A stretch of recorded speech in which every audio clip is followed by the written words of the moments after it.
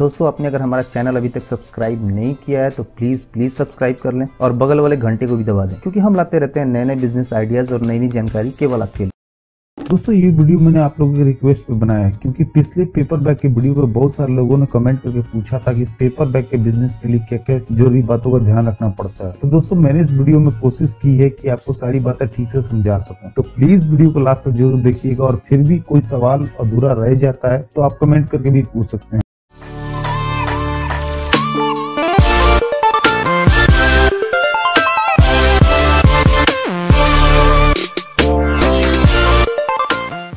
जैसा कि आपको पता है कि अलग अलग राज्य सरकारों द्वारा प्लास्टिक पे रोक की वजह से पेपर बैग, जूट या दूसरे इको फ्रेंडली बैग्स की डिमांड पहले से काफ़ी ज़्यादा बढ़ जाएगी। क्योंकि ऐसे बैग का यूज़ करना हर व्यापारी की मजबूरी हो गई है। इसलिए आजकल हर छोटी बड़ी कंपनी पेपर बैग्स का यूज़ करती है अपने प्रोडक्ट्स को ले जाने के लिए। और धीरे धीरे ऐसे बैग्स की डिमांड और बढ़ने ही वाली है। ऐसे में अगर आप छोटे लेवल पे इस बिज़नेस की शुरुआत करते हैं तो आप काफ़ी अच्छा खासा मुनाफा कमा सकते हैं। अगर बात करें पेपर बैग्स के प्रॉफिट मार्जिन की तो आप अगर एक बैग के पीछे 10 पैसे से 50 पैसे का भी प्रॉफिट मार्जिन रखते हैं तो आप अच्छी कमाई कर सकते हैं।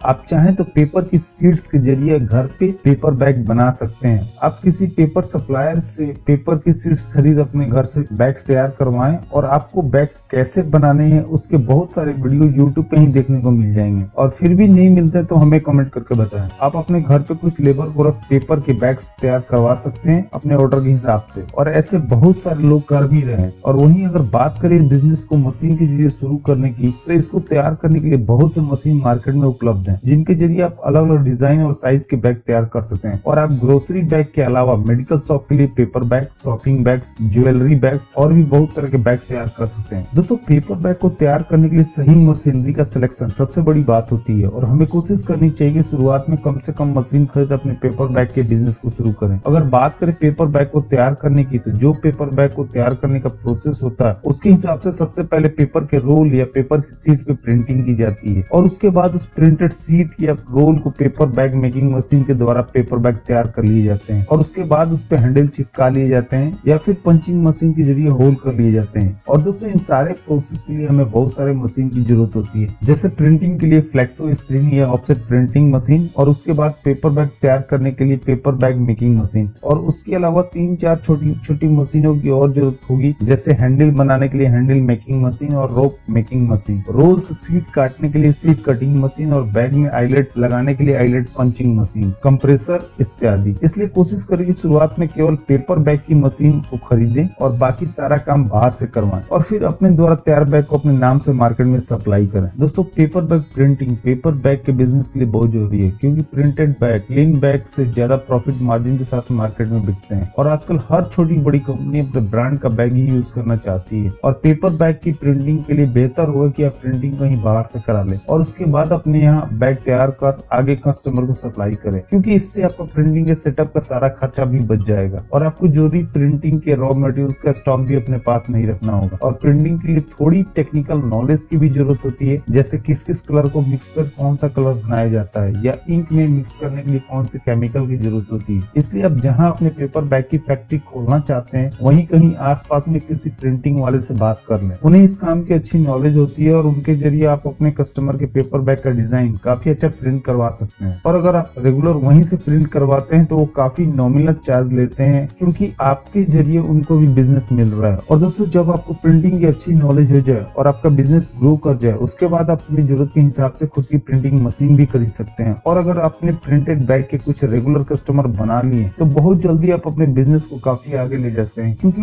उनके बेसिस पे आप मार्केट से और कस्टमर के ऑर्डर ले सकते हैं। और अगर बात करें पेपर बैग को तैयार करने की तो पेपर बैग का मार्केट बहुत बड़ा है और मेनली पेपर बैग को तैयार करने के लिए बहुत तरह की मशीन बाज़ार में उपलब्ध है। जैसे कि पहली sheet fed paper bag making machine और दूसरी रोल मशीन दोस्तों वीडियो में जो मशीन आपको दिख रही है, उसे sheet fed paper bag making machine कहते हैं। अगर आपको प्रिंटेड बैग बनाना है किसी कस्टमर के लिए तो सबसे पहले पेपर के रोल से पेपर की सीट काट ली जाती है और उसके बाद उस पर प्रिंटिंग की जाती है। या फिर आप चाहें तो पेपर के रोल पे प्रिंट कर उसकी सीट काट सकते हैं और वहीं प्लेन बैग बनाने के लिए पेपर के सीट को केवल मशीन में लगाना होता है और मशीन में उस साइज़ की सेटिंग कर देनी होती है। जिस साइज़ के बैग आपको बनाने हो और उसके बाद मशीन द्वारा ही बैग का प्रोडक्शन शुरू हो जाता है। और जैसा कि आपको वीडियो में दिख रहा है कि केवल मशीन के द्वारा ही पेपर बैग अपने आप तैयार हो जा रहे हैं। और अगर बात करें सीट फेड मशीन की तो ये मशीन छोटे साइज़ के बैग बनाने के लिए काफ़ी अच्छी होती है। जैसे ग्रोसरी और मेडिकल शॉप बैग इत्यादि। और आप इस मशीन के द्वारा अलग अलग साइज़ के बैग तैयार कर सकते हैं। और मशीन के द्वारा ही सीट को फोल्ड कर ट्यूब बना ग्लू लगा के बैग तैयार कर लिए जाते हैं। और इस मशीन को आप एक ऑपरेटर और हेल्पर के द्वारा चला सकते हैं। ये मशीन अलग अलग प्रोडक्शन कैपेसिटी के साथ बाज़ार में उपलब्ध है और ऐसी मशीन के ज़रिए 500 पीस से लेकर 10000 पीस पर घंटा का प्रोडक्शन किया जा सकता है। यानी जैसा मशीन का प्राइस वैसा उसका प्रोडक्शन कैपेसिटी और दोस्तों, अगर आप सीट फेड मशीन के ज़रिए अपने बिज़नेस की शुरुआत करना चाहते हैं तो आप ऑफसेट प्रिंटिंग के ज़रिए अपने बैग प्रिंट करवा सकते हैं। बहुत से ऐसे लोग होंगे जो शादी का कार्ड बुक्स पोस्टर छापते होंगे। आप वहाँ से अपने पेपर बैग का डिज़ाइन प्रिंट करवा सकते हैं और ज़्यादा क्वांटिटी प्रिंट करवाने के लिए ऑफसेट